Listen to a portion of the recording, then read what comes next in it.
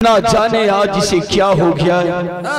जिस भाभी ने इसे माँ की तरह पोस पाल कर तैयार किया उस भाभी को आज ये धक्का लगा दिया। भैया आज तुम्हें क्या हो गया है? कुछ समझ में नहीं हमें कुछ नहीं हुआ भैया। अब इस हिमाचलपुर शहर में आपको सांस लेने का भी अधिकार नहीं है। आप जितना जल्द हो सके इस राज को छोड़ के निकल जाइए। ठीक। ठीक है मैं चला जाऊँगा। लेकिन लाख तुम्हें समझा रहा हूँ। तुम मेरा बात नहीं मान रहा है। देखना कमल एक ना एक दिन तुम ज़रूर मुझे याद करेगा। लेकिन तुम मेरा भाई।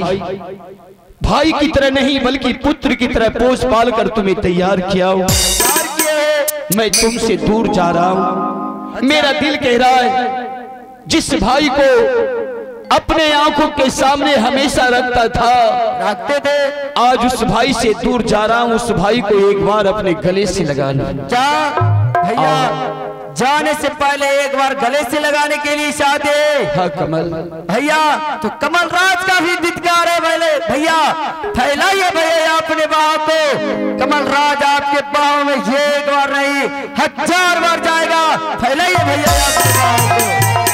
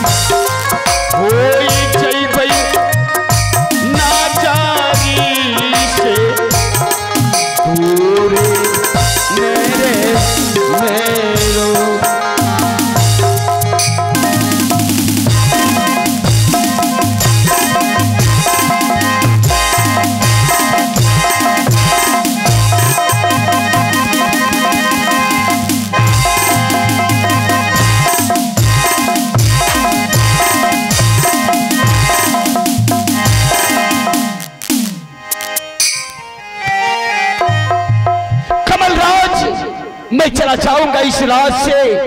लेकिन जाने से पहले मैं तुमसे कुछ कह के जा रहा हूँ। जिस व्यक्ति ने मेरे पिता का कत्ल किया है, तुम देखना, उसके अंग अंग में कोर फूट जाएगा।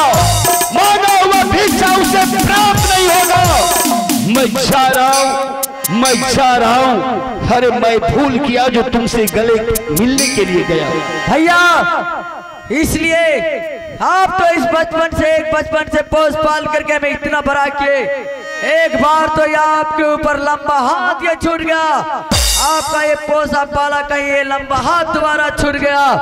ना तो आप इस पार के रहिएगा और ना उस पार का। तोरा लंबा हाथ है काटे दे दादी का। इसे काटेगा रे उसका हाथ। हाँ उसका अवश्य हाथ काट दो। तोरा दिन पूरी गेलो रे लफवा तोरे कैसियो तोरे। पूरा रे? ई इसका दिन। अरे उसका अवश्य दिन पुर गया। तोरा नेंगरी वाला पिलवा फरतो किसे रे हमें? केकरा फरतो किसे पड़ेगा जी इसको। उसे अवश्य नेगरी वाला पिल्लू फर जाएगा। तोरा काल मरा रहल छौ। मेरा? ना? तो? केकरा मरलाई हाँ, अवश्य मंडरा जाएगा काल। इसका काल? हाँ। हाँ?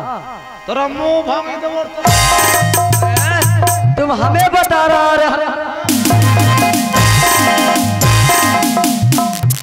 से मारबो तोरा टांग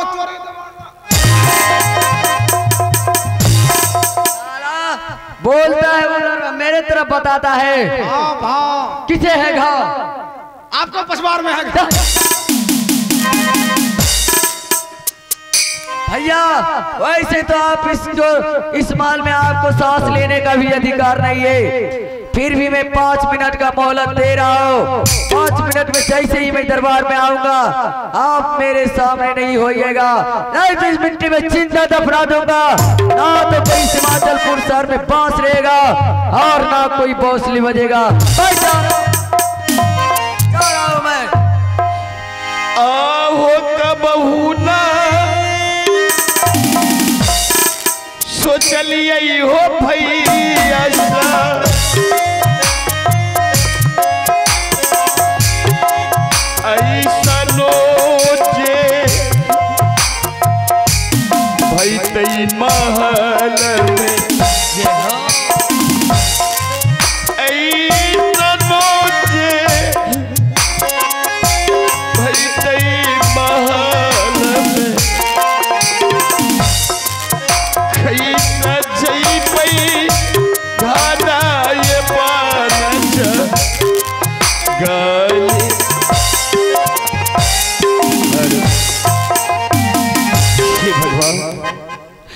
मैं कभी ऐसा सपने में भी नहीं सोचा था कि मेरे घर में ऐसा होगा।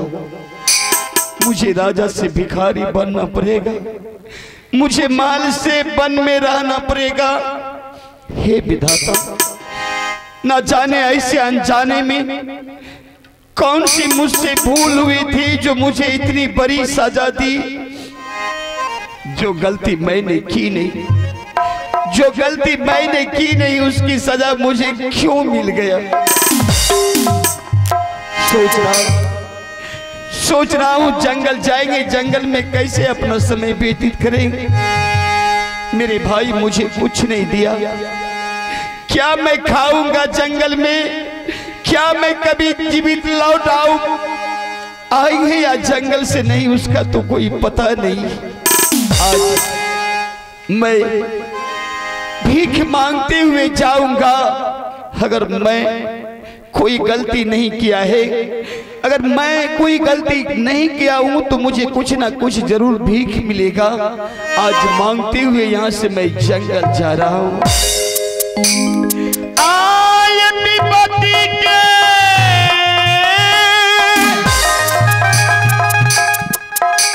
ही पेरिया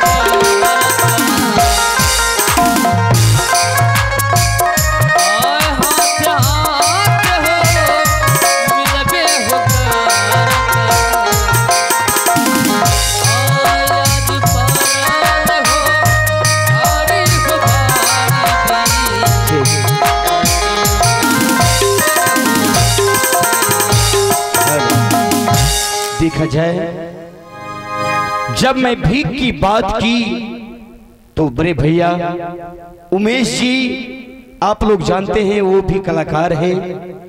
उमेश भैया ने मुझे जाने की समय अपने भाई समझकर जंगल में खाने के लिए इक्कीस रुपये से नवाजे हैं।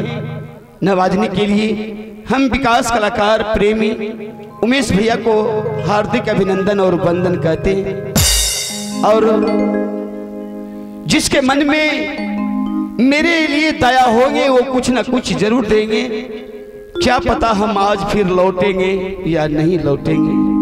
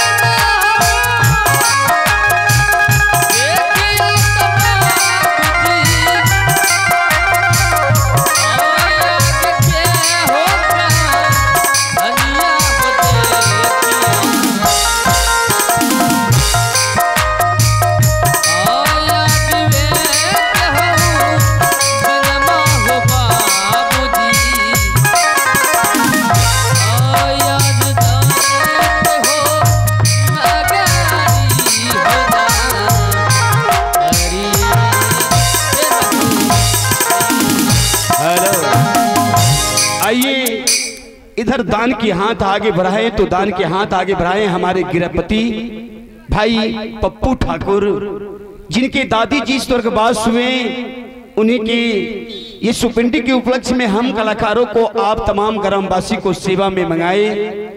पप्पू भैया ने जंगल जाने के समय इक्यावन रुपए से नवाजे हैं। हे महादेव हे देवाति देव महादेव, जो मुझे इस समय मदद करे, उसे हमेशा दुख से दूर रखना, हमेशा उसे खुश रखना, मैं आगे की ओर बढ़ रहा हूँ।